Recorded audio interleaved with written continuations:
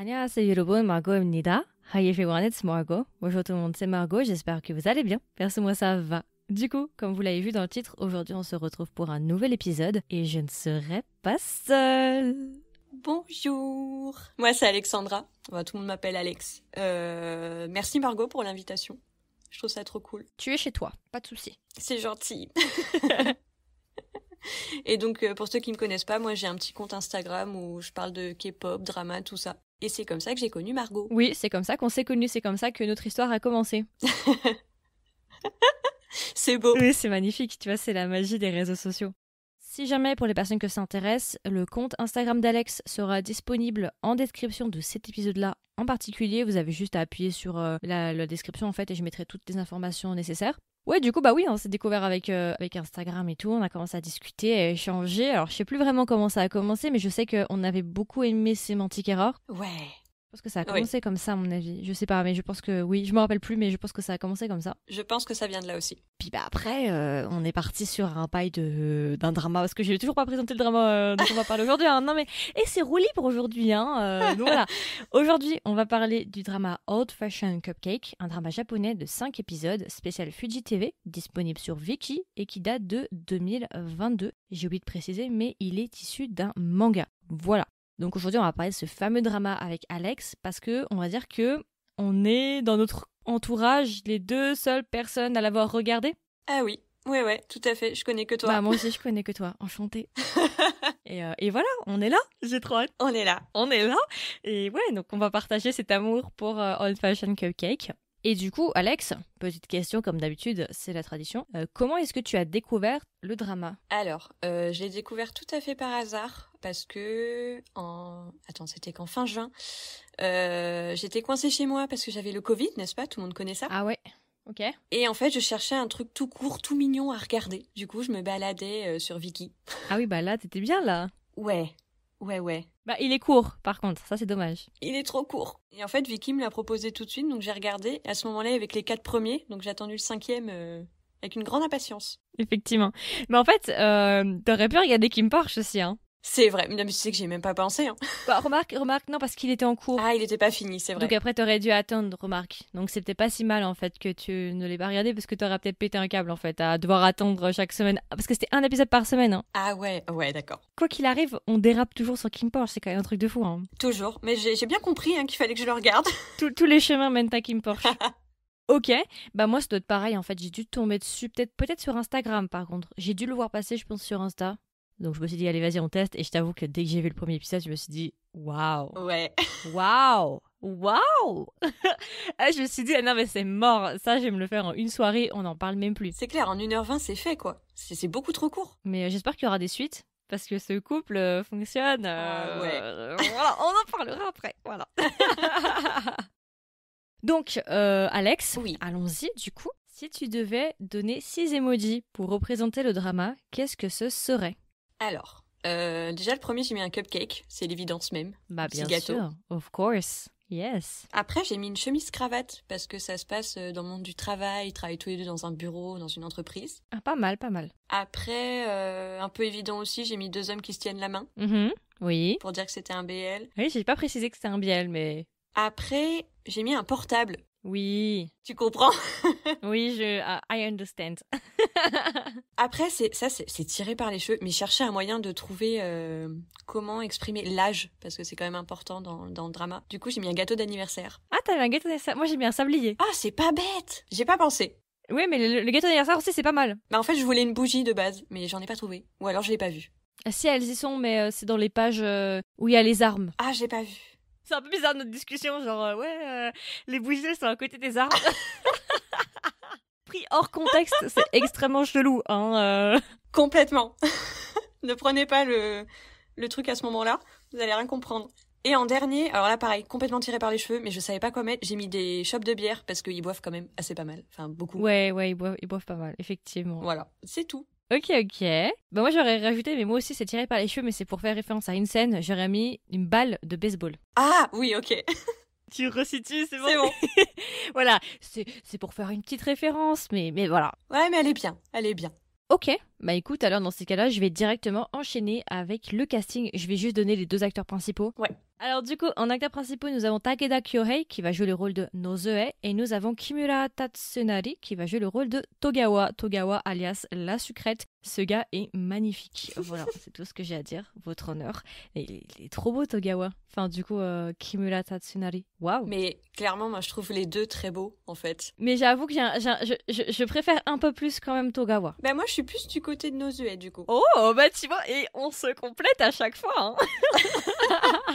mais c'est vrai, à chaque fois on se complète. C'est vrai. Non, bah, écoute, bah, parfait, écoute, eh bah, c'est super, alors voilà, comme ça, il n'y a pas de problème. Alors, c'est vrai que moi, je les connaissais pas trop, euh, les acteurs. J'ai regardé un peu ce qu'ils ont fait, mais euh, ça me. En fait, d'après ce que je vois là, euh, l'acteur qui joue Togawa, il a pas fait beaucoup de, de drama, visiblement.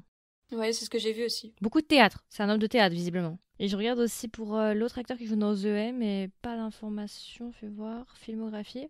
Ah si, il a fait quand même beaucoup de drama, le monsieur. Il est plus drama et film. Il en a fait un peu plus, ouais.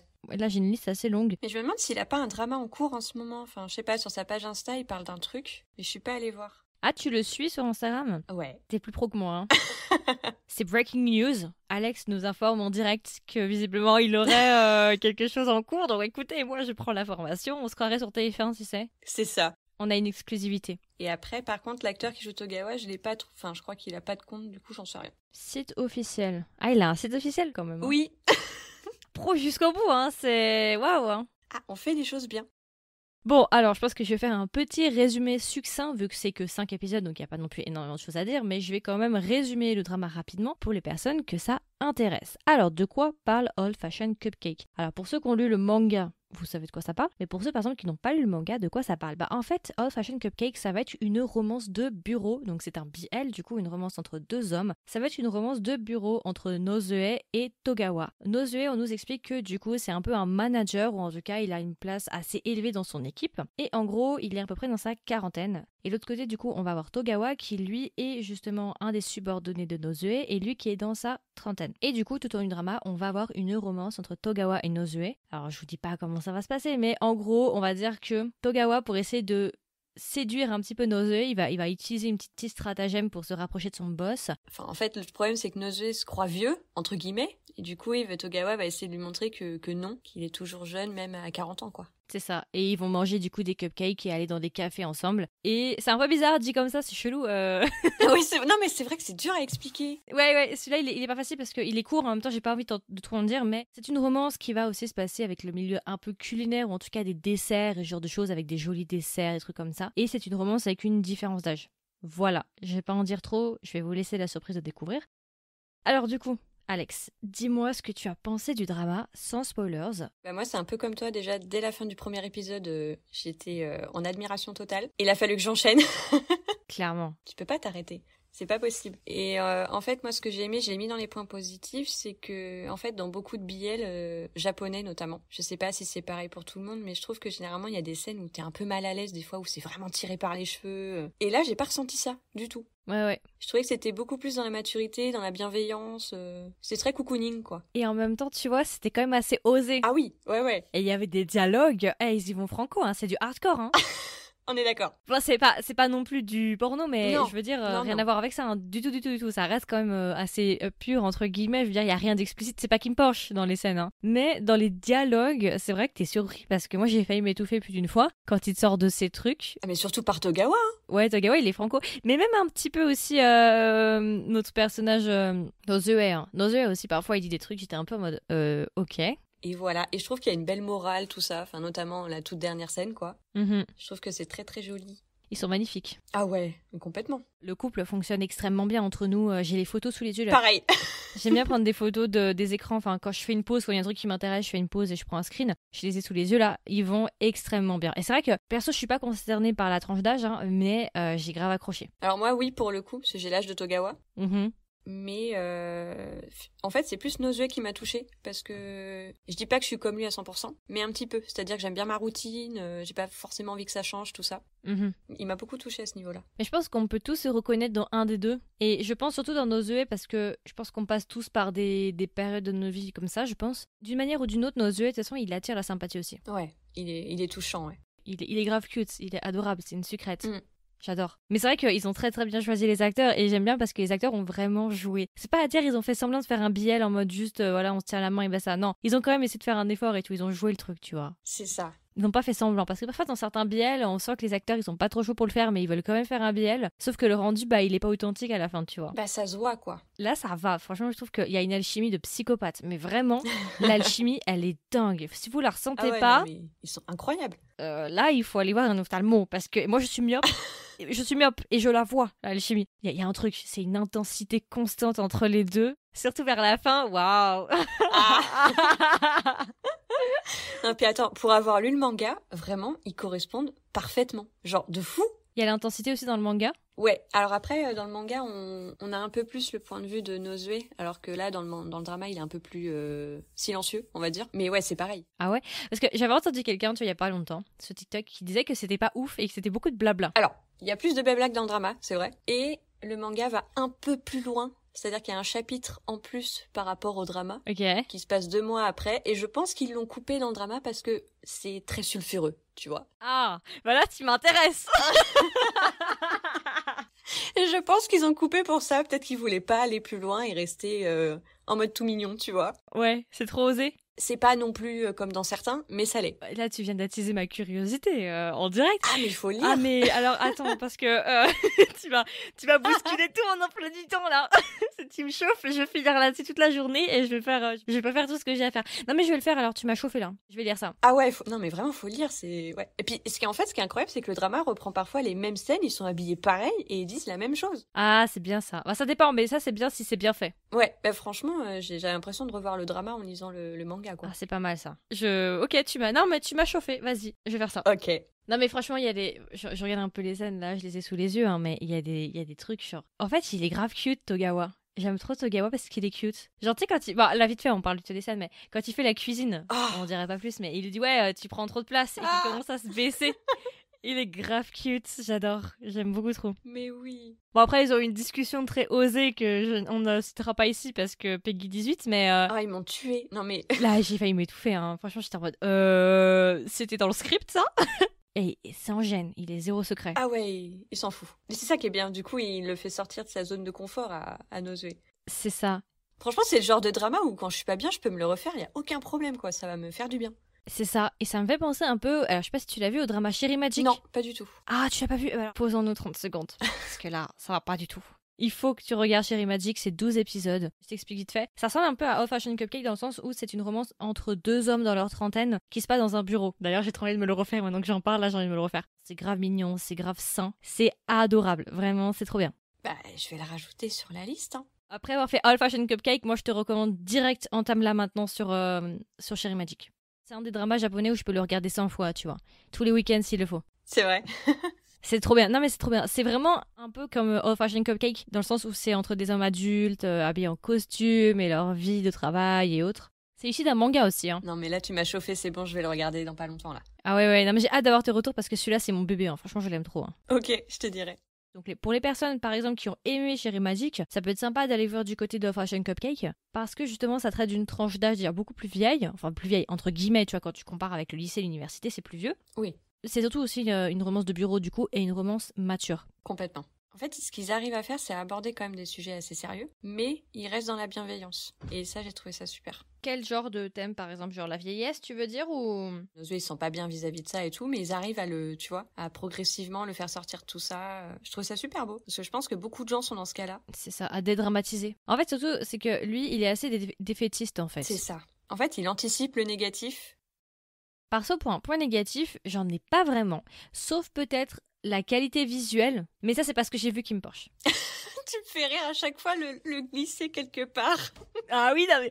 Et moi, je- c'est- l'attaque vipère. Je- J'attaque, je vais, je vais du Kim Porsche à droite et à gauche.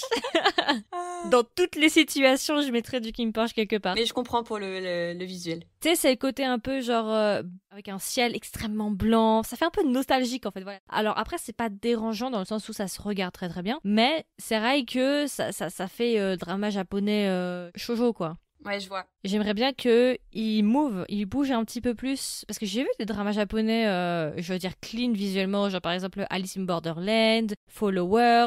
Ça c'est des qualités genre plutôt bonnes, tu vois. Clean au niveau du, du truc, pas avec des filtres hyper saturés et autres. Bon après ça c'est vraiment euh, un point négatif pour un point négatif, mais ça m'a clairement pas gâché le- l'expérience parce que j'ai beaucoup beaucoup aimé le drama. Mais je voulais quand même, euh, je voulais quand même le dire. Moi, au niveau du visuel, il y a juste une ou deux scènes où j'ai trouvé que les lumières étaient très jolies. Alors, je sais pas si je peux le dire. Bon, c'est pas vraiment un spoiler en vrai. Mais c'est à chaque fois qu'ils attendent le taxi. Je trouve qu'il y a la lumière de la ville, elle est trop belle. Avec les oranges? Ouais, je sais pas, j'ai trouvé ça trop beau. Effectivement. Et en point négatif, je suis pareil, j'en ai pas en fait. Enfin, à part déjà que c'est trop court, je vais le redire, hein, je vais le répéter. Ouais, bah vas-y, vas-y, parce que moi j'avais gueulé, j'avais fait la même chose que toi pour Sémantique Error, je m'étais énervée parce que c'était trop court, donc fais-toi Ah plaisir. ouais, mais franchement, des épisodes comme ça, moi, je leur demande, hein. Y a, y a pas de problème. Mais oui, c'est ça. En plus, le chapitre qu'ils nous ont pas mis, excusez-nous, euh, c'est un affront. euh, comment je suis censée prendre ça euh, Je me sens, j'ai l'impression d'être trahie. Après, on se plaint qu'on a des problèmes pour faire confiance aux gens, mais regardez ce que nous fait Old Fashion Cupcake. Et ils ont coupé trop court. Après, euh, en, en point négatif, alors, je vais pas, je vais, je vais essayer de pas te spoiler, mais c'est compliqué. Euh, tu vois la dernière scène de l'épisode 4 Attends, laisse-moi resituer. Épisode 4, épisode 4. En fait, je comprends pas pourquoi toujours faire ça. C'est c'est bête, hein. Après, dans le manga, il est censé être réveillé. Oui, et bah tu sais que je me suis demandé s'il était pas réveillé, et moi je m'attendais à ce qu'il ouvre les yeux. Pareil. Et en fait, dans le manga, il, il est réveillé et t'as ses pensées qui disent Je ferai semblant de ne rien avoir senti, rien avoir vu. Tout le monde ferait pareil. Mais bon, bon, moi la scène m'a pas dérangé, j'ai trouvé plutôt qu'elle était assez surprenante, je m'attendais pas à ça en fait. Mais moi non plus. J'avoue que ça peut être un peu bizarre comme ça. euh, Ouais. Genre, quand je l'ai vu revenir, je fais Il fait quoi? Pourquoi il revient? Il s'est dit finalement le futon, euh, je le veux bien. Ça. Alors du coup, si tu devais recommander le drama à un ami ou une amie, qu'est-ce que tu lui dirais? Et est-ce que même tu recommanderais le drama? Je connais la réponse Ah ouais, la question elle se pose même pas. Bien sûr que je le recommande. Pour moi, faut le voir une fois dans sa vie. C'est euh, c'est hyper réconfortant. En fait, tu, tu te poses euh, tranquillement avec une petite part de gâteau et c'est bon. Pendant 1h20, t'es bien. Petite bulle de douceur. Alors chérie m'a dit que tu vas kiffer. Parce que c'est le même principe, c'est très Eh cosy. bah écoute, Là, je te dis que chérie m'a dit que, euh, à mon avis, tu risques d'aimer. hein. ok. Alors pour moi personnellement, pourquoi je le recommanderais? Bah, bah, déjà premièrement pour l'alchimie. Si vous voulez un drama intense, mais vraiment avec un truc, vous voyez pas juste un drama, euh, voilà où on sent rien, où il y a, ou genre, parce que tu sais parfois il y a des dramas. Je parle pas des biens, mais je parle en règle générale où genre les acteurs ils ont l'alchimie d'un poteau. C'est-à-dire qu'il y a rien qui passe. Non mais il y a rien, c'est un plot. Ça arrive, Oui, ça, ça arrive. arrive. Mais là, c'est c'est d'une intensité, vous le voyez, genre il y a une tension. Donc déjà si vous aimez bien ce genre d'histoire, parce que moi j'avoue que je suis assez friande de ce genre d'histoire-là. J'aime des histoires intenses personnellement. Les couples où ils se mettent en couple euh, ou de- du deuxième épisode et puis après on suit leur vie de famille où ils sortent le chien et ils sortent les couches du bébé, ça m'intéresse pas. Bah ça a pas trop d'intérêt quoi. Bah non, moi je m'en fous. Enfin clairement voilà, moi je veux du drama quoi. Je veux du sang, je veux des pleurs, des cris. Non je déconne. La meuf qui va trop loin. Émotion plus plus plus. Ouais, voilà, je veux vraiment ressentir les émotions à fond, tu vois. Je veux, si les, les personnages souffrent, je veux ressentir leur souffrance, tu vois. Non puis même il faut le regarder juste pour les deux acteurs, c'est des pépites quoi. Que dire de plus? Et puis aussi, je les recommanderais pour ceux qui veulent des romances, enfin des BL ou des romances dans la vie adulte et avec des différences d'âge et qui sont dans des tranches plutôt 30-40 ans ou qui aiment ce type de tranche d'âge-là. Je pense que ça peut plaire. Mais c'est bien parce que sa force aussi, je pense, c'est que justement, c'est une tranche d'âge un peu sous-représentée, tu vois. Ouais, complètement, je suis d'accord. Et je pense que ça parle à plus de personnes parce que c'est vrai qu'au bout d'un moment, euh, parler du lycée ou ce genre de choses, c'est mignon, hein. Mais bon, c'est un peu saoulant de toujours suivre les mêmes codes. C'est ça. Alors que là, c'est un peu plus mature quoi, on va dire. Je le vois Mais jamais. moi non plus, je suis déçue. Peut-être peut-être une bande-annonce et c'est pour ça que ça m'a donné envie de le regarder, mais sinon c'est tout. Moi je te dis, je l'ai découvert sur Viki, donc je l'ai même pas vu passer quoi, sur les réseaux. Ouais, c'est ça. C'est dommage parce que franchement, je trouve que c'est un c'est de bonne qualité quand même. hein. Ah, complètement. C'est pour ça qu'on est là. C'est ça. Défendons-le. Et du coup, si tu devais donner une note à Old Fashion Cupcake sur 20, combien est-ce que tu le mettrais? Franchement, je lui mets 18. Ok, Parce que c'est trop court. c'est ça. C'est c'est grave court. C'est trop court. Non, puis si je mets plus, tu vois, euh, ça va aller au niveau de Semantic Error, et pour moi, c'est le meilleur pour l'instant. Donc, peut pas encore aller au niveau de Semantic Error. Ouais, Un ouais. peu- Voilà. Donc, je le mets un petit peu en dessous. Bah moi, je l'aurais mis 17 et demi. Ah bah écoute, on n'est pas loin. On est vraiment pas loin. Non, mais je sais, je comprends totalement parce que, en fait, à partir d'une certaine note, c'est plus vraiment. À partir, je pense, de 16, de 16 17, au-delà de là, c'est plus vraiment du objectif pour lequel tu donnes la note, mais après, c'est du subjectif, c'est par rapport à tes émotions personnelles. Mm. Tu vois, quand c'est 19, 20, c'est vraiment que ça t'a pris corps et âme. Ouais. Genre, c'est ta vie, tu vois. et euh, c'est pour ça que 17 et demi, c'est très bien. hein. Franchement, pour ceux qui suivent mon podcast, vous savez que c'est très très bien. À partir de 15, c'est que le drama se regarde. En fait, moi, ma moyenne, elle est pas à 10, elle est à 15. D'accord, ok. En fait, j'estime qu'en dessous de 15, c'est pas folichon. Ouais, je comprends. Et ça vaut pas trop mon temps, tu vois. un très très bon drama. J'espère qu'il y aura des suites. J'espère qu'il va être très populaire. J'espère qu'il va être ouais sur Viki que ça va fonctionner et tout, qu'il va y avoir des bons retours et qu'ils vont continuer. On sait jamais, on peut rêver. Hein. J'avais vu que le manga au Japon avait eu beaucoup de succès. Ah. Et euh, bah, comme tu dis, j'espère une suite parce que j'ai vu que il va aller, enfin, il allait avoir un autre manga en décembre. Voilà, ouais. Je voulais introduire sur ça justement, parfait. Ouais. Et ça s'appelle euh, Old Fashioned Cupcake with Cappuccino. Alors il n'y a pas d'infos, pas de résumé, pas de photos, donc je sais pas si c'est une réelle suite ou pas, mais j'espère. Ou un spin-off? Ou un spin-off, j'avoue. Et puis c'est vrai qu'une suite, ce serait bien, tu vois. C'est bête, mais je suis très curieuse de voir leur quotidien à tous les deux. Accessoirement, si on peut passer un bon moment, voilà. Et aussi, j'ai pas parlé, mais les musiques sont assez sympas. J'adore la chanson du générique. Genre vraiment, je l'ai mise dans ma playlist tout de suite. Je l'adore. Ouais, ouais, faudrait que je regarde ça. Faudrait que je regarde sur Spotify ça tout à l'heure. Je, l'adore. Donc euh, voilà, est-ce que tu veux rajouter quelque chose par rapport à Old Fashioned Cupcake Euh, à part qu'il faut le, voir absolument une fois dans sa vie, euh, non. non. mais vraiment, mais regardez-le quoi, c'est une petite pépite qui est pas assez connue pour moi. Clairement, je suis d'accord avec toi. Bah du coup bah voilà, écoutez, c'était notre version courte, notre version de présentation sur le drama Old Fashioned Cupcake, un drama qu'on a beaucoup aimé, un drama sous-côté qu'on vous recommande à 2000%. J'espère que ça vous a plu, j'espère que ça vous a intéressé. Comme d'habitude, n'hésitez pas à nous donner vos retours. Est-ce que vous l'avez vu? Si vous l'avez vu, qu'est-ce que vous en avez pensé? Si vous l'avez pas vu, est-ce que vous avez envie de le regarder? Et puis voilà, écoutez, euh, je pense que c'est à peu près tout. Merci Alex d'avoir été avec moi aujourd'hui pour euh, All Fashion Cupcake. J'ai beaucoup aimé faire cet épisode. Et merci Margot pour l'invitation, c'était trop bien. Mais pas de souci, tu es chez toi. Tu peux revenir quand tu veux. Tu peux revenir quand tu veux. Et j'ai grave hâte euh, qu'on que tu me donnes tes retours sur Chérie Magic. Et moi, je veux bien ton retour si jamais tu lis le manga. Oui, je vais faire ça. Je veux, ouais, je veux, qu'on en discute. je, vais, je vais voir quand je peux caser ça dans mon emploi du temps, mais ouais, je vais le faire. Tu m'as chauffé là, c'est bon. Ah, je sais. Tu me l'as vendu. Ah, tu vois. et puis bah voilà, écoutez, du coup, je vous souhaite une agréable journée ou une agréable soirée, et je vous dis à la prochaine pour un nouvel épisode. Bye Bye bye